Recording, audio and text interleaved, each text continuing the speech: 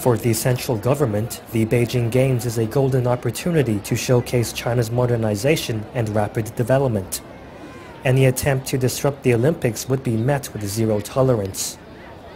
With a security budget of 300 million US dollars, Beijing has amassed 90,000 officers and legions of volunteers to ensure a safe Olympics. In addition to stringent security measures around venues for the Games, Beijing residents have been forced to deal with tighter security around the city as well. Since April, security around Tiananmen Square has been noticeably increased. The new measures include random checks on bags and vehicles around the plaza for items that could, quote, affect social order and public safety.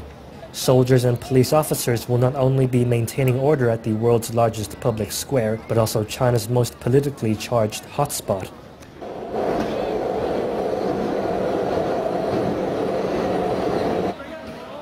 The protection of Beijing's subway from a terror attack is high on the agenda. Earlier this year, authorities began testing security checks at three subway stations.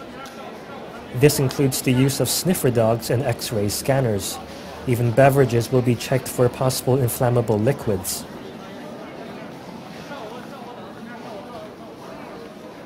Authorities hope to implement these security measures at all 123 stations starting in July. By then, the Olympics will only be a month away.